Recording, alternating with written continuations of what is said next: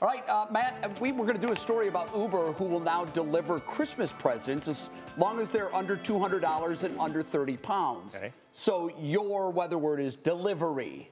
Delivery. Yeah. Oh, we can get that in the forecast. Say that probably three times the forecast on average. So that's great.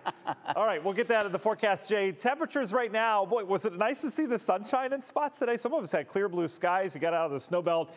But temperatures didn't really respond very nicely, did they? We're just above freezing right now, mid 30s for most of us. But you factor in the wind, which has been uh, breezy as we've gone throughout the afternoon. It feels more like the 20s for your evening out. So, yes, you need to bundle up. And yes, it's early December. So, I'm pretty sure you're doing that anyway.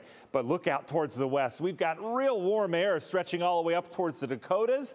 That is underneath a ridge, which is heading our way.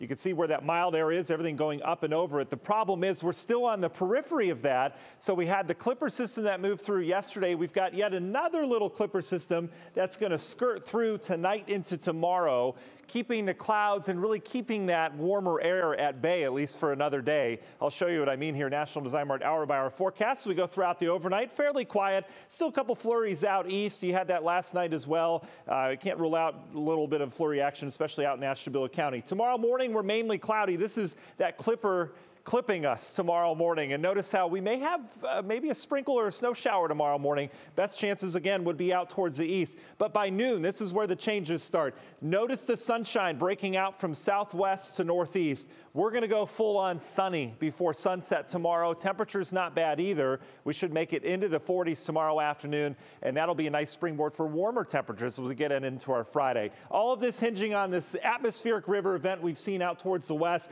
You see the area of low pressure in this area of energy pushing in now, so we're going to cut off the rain for areas of Washington and Oregon for the first time in days, and we're going to boost those temperatures in the eastern half of the country. So we're talking 50s on Friday, well into the 50s Saturday. Problem here is, though, that we have some rain coming our way as we get into the weekend. So as we look at the weekend, we're in the 50s with showers developing uh, on Saturday, and then Sunday we're changing rain over to wet snow and I just caught this. This looks really dramatic. I don't know what's happening with that pipe with the water coming out, but either way, uh, not looking too good there. All right, big picture across the country. This is how it comes together. Notice how we start to deal with showers Saturday. Sunday, we get the rain early, and what happens is this system heads off towards the north and really strengthens, but the cold air or the delivery of the cold air isn't in tune with the moisture. So we're not going to see a ton of snow with this. However, as it heads out towards the east, the latest Euro has real heavy snow just out towards our east as that cold air finally catches up. Either way, I think we get some wet snow at the end of all this. Does that happen during the Browns game when we see the transition? Boy, Sunday's weather looks interesting. Your Union Home Mortgage seven day forecast. There's that transition on Sunday from rain to snow, dropping temperatures with leftover lake effect on Monday.